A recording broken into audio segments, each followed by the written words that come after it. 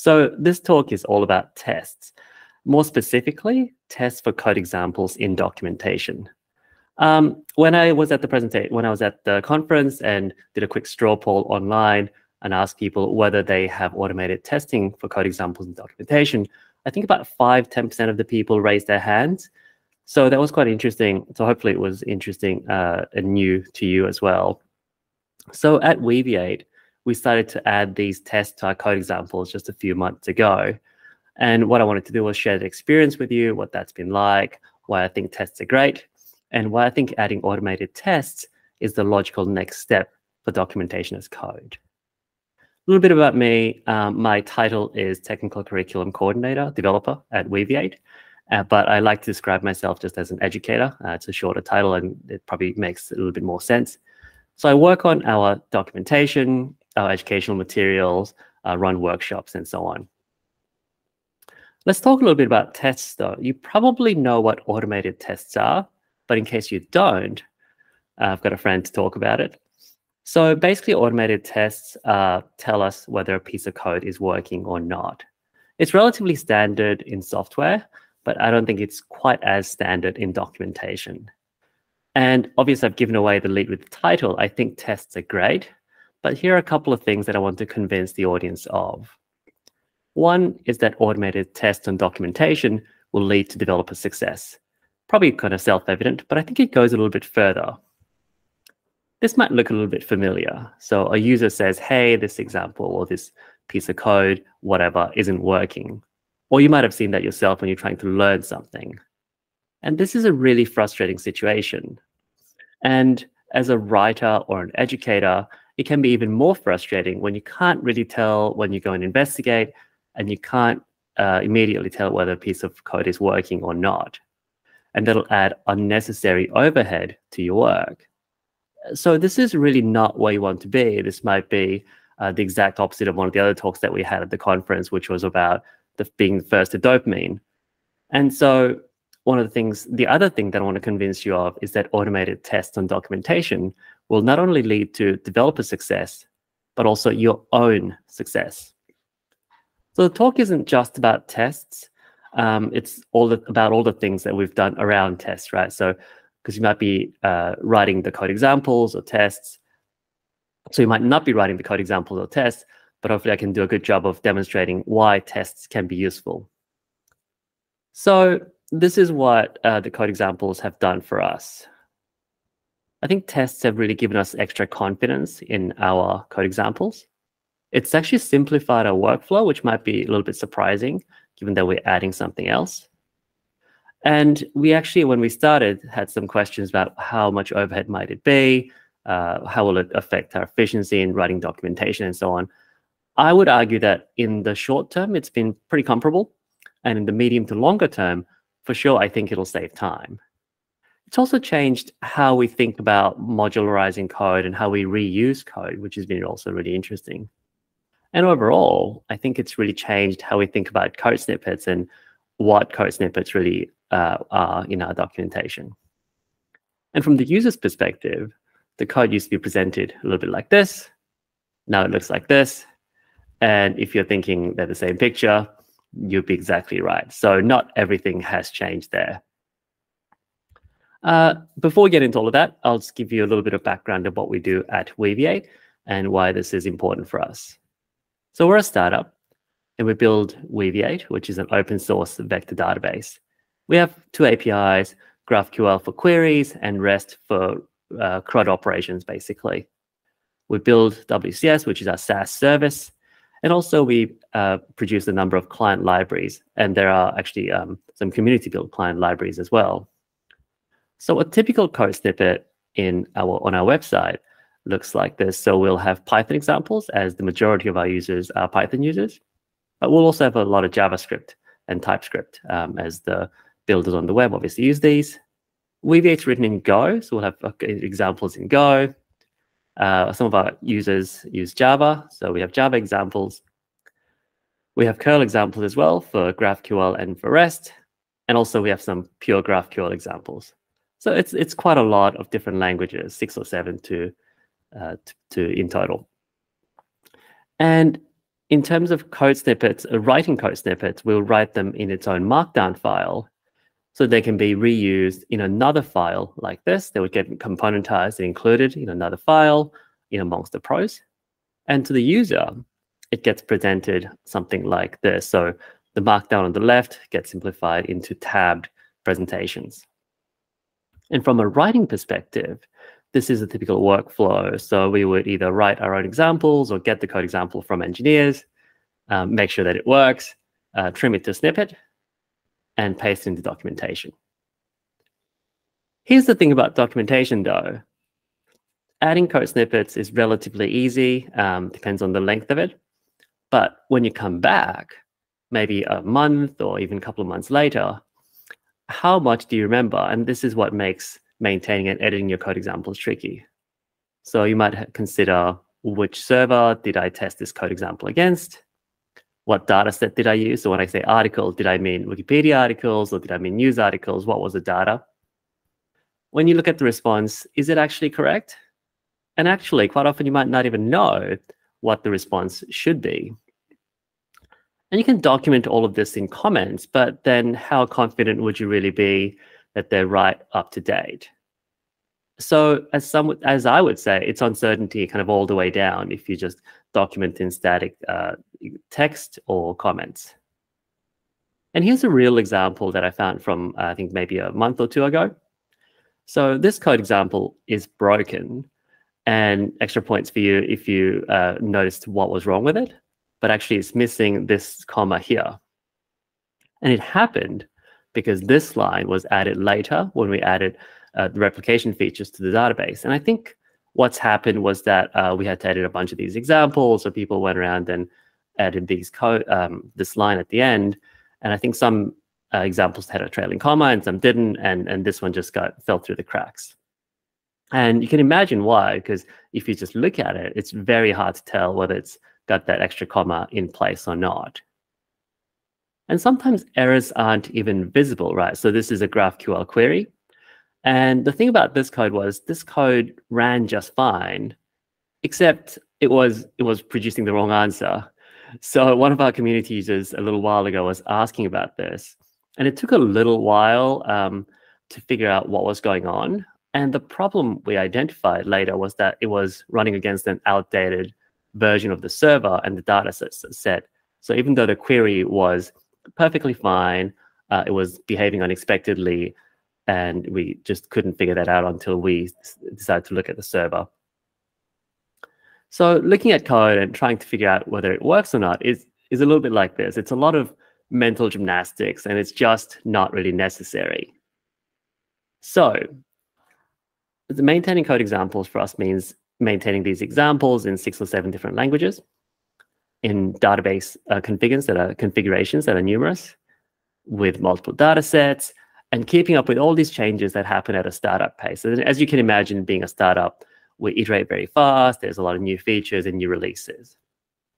And if you watched a bunch of infomercials, you can probably sense what I'm going to say next, which is that there has to be a better way. So the impetus for this was that we one day received a message and it was entitled Testable Documentation from our colleague Jeremy. This is what he said. He said, code examples are the first encounter with Weaviate that many clients or developers will have. And it's quite difficult to keep documentation up to date. And documentation contains an extra comma or a missing quotation marks. You can see he was quite prescient about the extra comma or a missing comma. And he says, without testing, there is no way to ensure that our documentation is up to date with our code base. At Weaviate, we love tests. More tests are always better tests, Jeremy. So this, for me, was very much of a eureka moment. And the thing is, our documentation is already open source. So we host it on GitHub. We take advantage of all the benefits of Git and GitHub, right? So version control, CI/CD, and we use the Docusaurus framework, which is a React-based library. So we can uh, have these components as you saw earlier. So why not treat it as a real code base and add tests? The question then was, how do we actually implement this? So this was our first attempt at um, implementing tests. We started with our code examples and existing snippets like these, and then built tests around it. So that involved connecting to a database and parsing the code, the extracting the code examples from the documentation. Uh, we had to amend the script to do things like you know import libraries that are needed, connect um, to the instance, and then run tests. Uh, so run the code and check the outputs against the expected outputs and states, i.e. run the tests. And then you'd have to, of course, spin the, uh, spin the database down and delete any data if you, you're using a permanent database and so on. Um, and this worked well enough. Um, it was we picked up quite a few errors, and obviously the tests are able to be automated because it was all scripted. But there were some challenges. Um, the main one was that there was really only very limited information at the snippet because the snippet's obviously very short, and all the associated information to automate these tests was somewhere else. So it was a lot of cognitive work for the writer, and there was just a lot of disconnect between the two sides. So we went back to the drawing board a little bit. And what we decided was that what if code examples like these were just code? And what we mean by that is that instead of having these snippets of text like this, which is what Markdown is, and extracting the code from the text, what if we just wrote all of the code that we needed to make it self-contained, right? So as it turns out, this solves a lot of the challenges that we talked about previously. For one, it means that we're able to simply run the whole script as is to perform the test without writing a whole lot of auxiliary code just for the purpose of running tests. And speaking of tests, you'll probably notice that the tests here are baked straight into our code example. And you might be thinking, well, tests are usually very complex, are they not? Building, you know, a test for software library means you have to do things like unit tests, integration tests, functional tests, regression tests, um, security tests, and, and so on and so forth. So building tests for software library is very complex.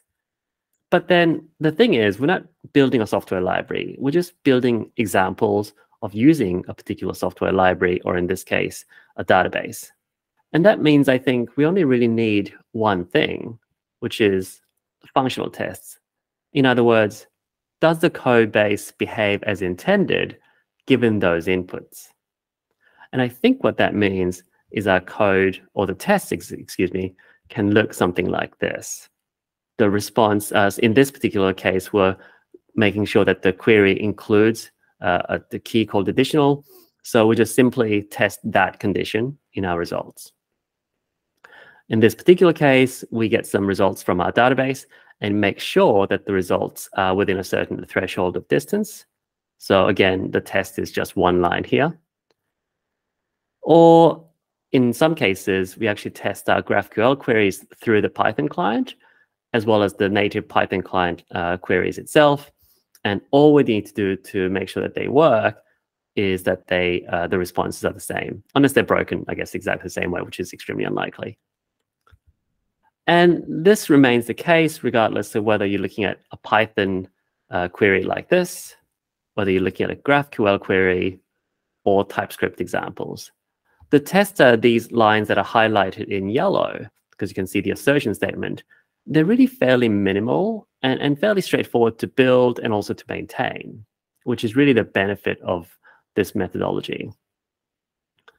So I think when we consider how much work really um, adds by by doing this thing? I think the answer is really not much at all, because a lot of our code, like our initialization and instantiation and importing libraries, so this green bit that I've highlighted here, you're writing anyway.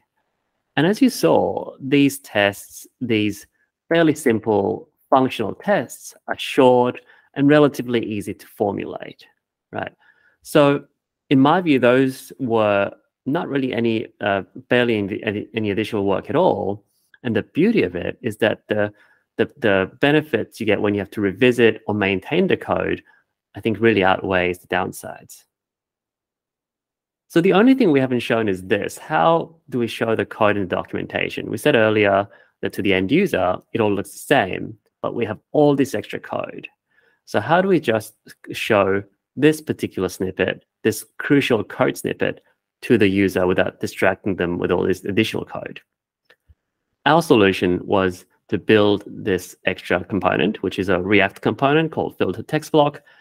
And all this does is to filter each line in our code example based on markers. You can see the markers here above and below our code snippets called basic get by Python and end basic get Python. So these markers are indicated uh, or used in the text block, and it pulls in the code in between the two. So more concretely, our code examples look like this. Our source Python file includes all these markers at various places. These are then, uh, some of these markers are then used by individual components to extract sections of code. And the user just sees that particular snippet of code between these markers. There are some additional benefits here as well. So what we can now do is to use the same snippet in multiple examples. So those few lines of code that you see um, up above has multiple markers. Um, and then the set below has the same markers in different places. So from the user's perspective, what they see is a combined uh, set of those lines as though it was just one block of code, even though in the actual um, Python script, they are separated by whatever number of lines, I think 40 or so in that particular example there. And because we're using the same code examples here, the change, any change we make can be propagated to every example where it's shown. So here we have these same markers that are used to capture this initial, initialization section. And if we make a change, as we do here, it'll get propagated because the markers that are shown in these uh, sections get propagated to different parts of the documentation. So to the end user, um, you'll they'll see different examples as though they were separate pieces of code snippets.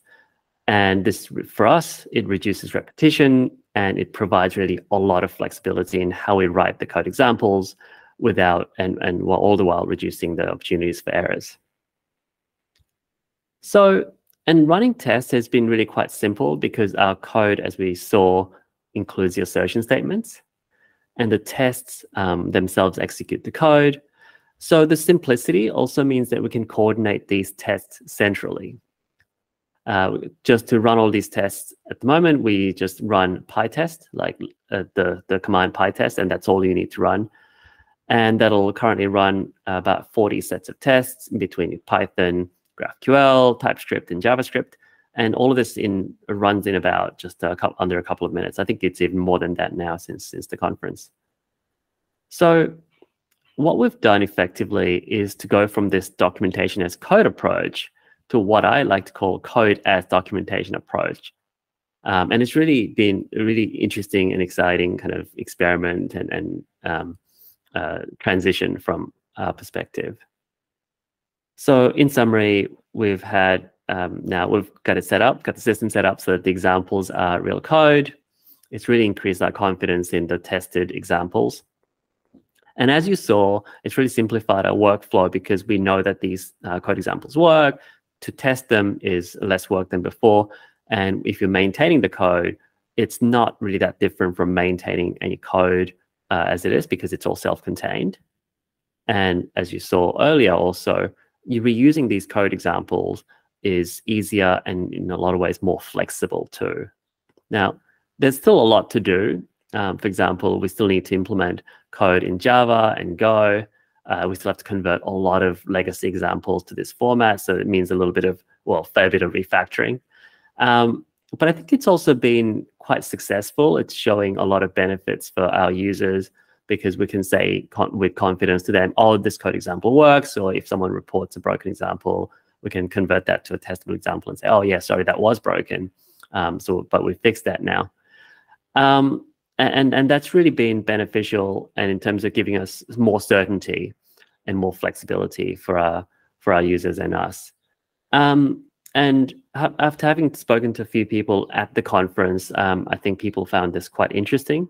But obviously, um, this is a bit of an ongoing experiment or ongoing process for us as well. so I'm sure it'll evolve and change over time, which is uh, still very, very exciting. Um, so yeah, thank you very much for, for listening. And um, I'm on Twitter as well. So if you want to reach out, my Twitter handle's uh, underscore JP Hwang. and uh, I'd love to get people's thoughts about about all this and um, look to uh, maybe hopefully report back on it next year or so. Thanks very much.